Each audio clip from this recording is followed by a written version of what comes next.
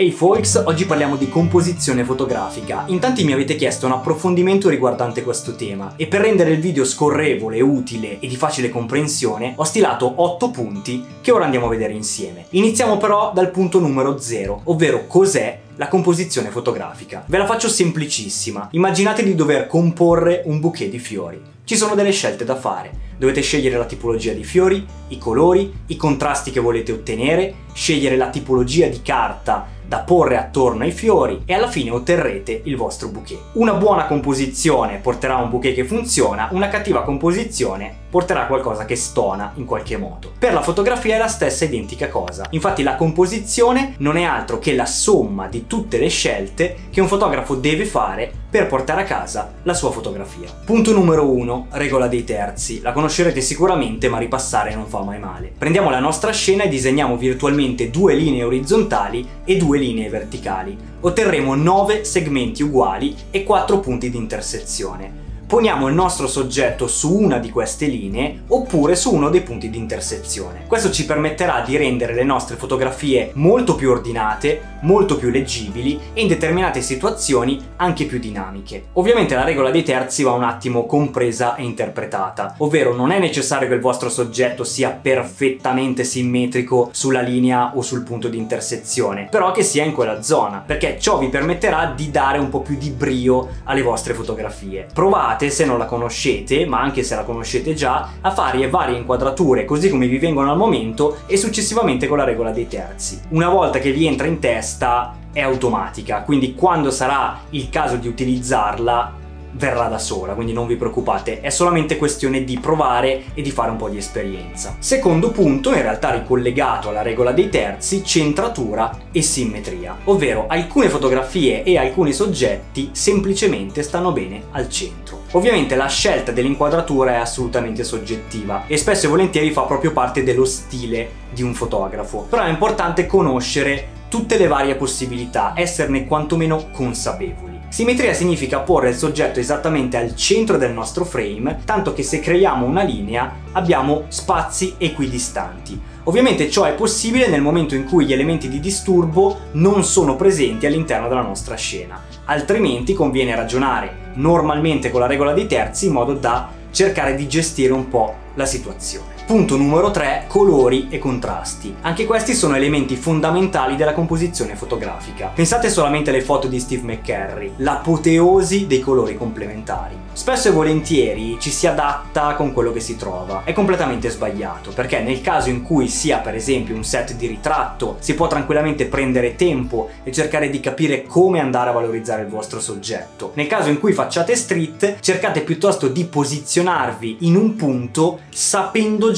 quello che volete fotografare. Esistono svariate teorie di vecchi street photographer, per intenderci, che eh, si sono appostati per molto tempo nello stesso punto, aspettando che accadesse esattamente ciò che avevano in testa. Considerate questo aspetto, poi un giorno, quando faremo un ulteriore approfondimento sulla street, vi racconterò anche quella storia. Focalizzatevi bene sul cercare di portare a casa bei colori e bei contrasti fin da subito, fin da prima della post-produzione. Punto numero 4. Crea una cornice. Qualche video fa vi ho consigliato di scattare attraverso a qualcosa, inserire elementi anche di disturbo che però in realtà creano tridimensionalità. Oggi vi dico di scattare cercando di costruire una sorta di cornice, perché la composizione è anche quello. È un ottimo modo per guidare l'occhio verso il soggetto principale. Quindi cercate di sfruttare tutto quello che trovate, perché a volte gli elementi di disturbo sono elementi di pregio se utilizzati nella maniera corretta non scoraggiatevi mai perché c'è sempre un modo creativo e comunicativo di poter sfruttare tutto quello che abbiamo attorno. Punto numero 5, secondo me è il più difficile, semplifica. Ovvero più andrete a semplificare l'inquadratura, la ricerca dei colori nelle vostre foto, più riuscirete a gestire il risultato e arrivare a più persone. Perché se voi realizzate una foto super complessa, per quanto possa essere bella e per quanto ovviamente possa essere accettabile, giusta e lecita, è sicuramente per pochi e non per tutti. Invece tendere a semplificare, quando se ne ha l'occasione ovviamente, permette di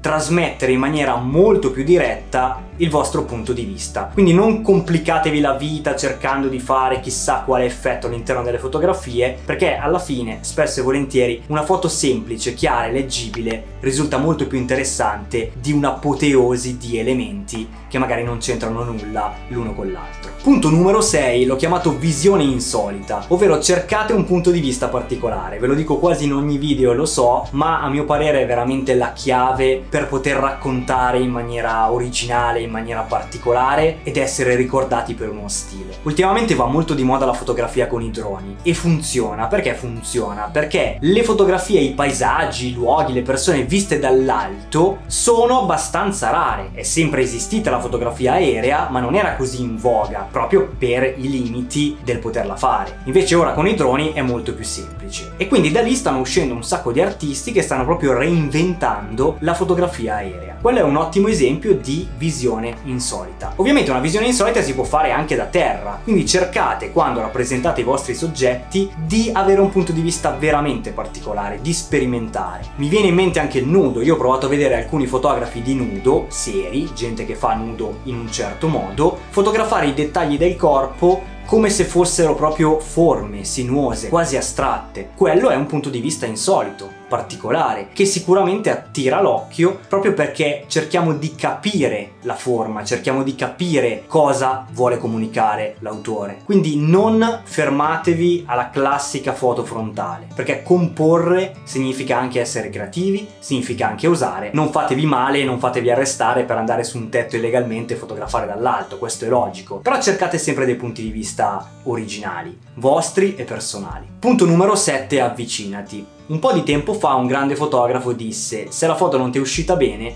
è perché non eri abbastanza vicino. E scrivetemi qui sotto nei commenti di chi si tratta. È una verità assoluta. Il dettaglio è un ottimo modo per raccontare qualcosa e anche quello ovviamente fa parte della composizione perché è una scelta. Se io fotografo per esempio le mani di un muratore potrei raccontare la sua vita e anche molto di più piuttosto che facendogli un ritratto classico in primo piano. Ogni elemento, ogni soggetto che andate a fotografare, che sia un essere umano, che sia un prodotto, che sia un paesaggio, paesaggio ha sempre un dettaglio. Sta al fotografo coglierlo in modo da raccontarlo in maniera più originale e meno già vista. Ottavo e ultimo punto, rompi le regole. Come potete vedere di regole qui ce ne sono ben poche, sono tutti spunti, sono tutti consigli, sono tutti suggerimenti. Esiste la regola dei terzi, che è una regola accertata al 100%, ma per il resto la fotografia e di conseguenza la composizione fotografica è questione di personalità, è questione di approccio personale. Cercate di studiare molto bene le inquadrature, cercate di ragionare bene quando andate a comunicare qualcosa, perché c'è sempre un modo migliore del primo che vi viene in mente. Quindi ragionate attentamente, ponderate, valutate,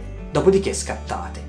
E poi da lì ci sono tutti gli altri passaggi di post-produzione, di editing, che vanno a riconfermare ulteriormente uno stile. Questi sono i miei spunti per migliorare un po' la composizione fotografica. Sono universali, non sono andato ad addentrarmi dentro nessun genere in particolare, ma voi chiaramente potete farlo qui sotto nei commenti per arricchire questo contenuto. Vi ricordo di seguirmi su Instagram, sulla mia pagina Telegram dove quasi quotidianamente pubblico news ispirazionali sulla fotografia a misura di smartphone, dategli un occhio che è interessante. Io vi auguro una buona continuazione e soprattutto buona luce.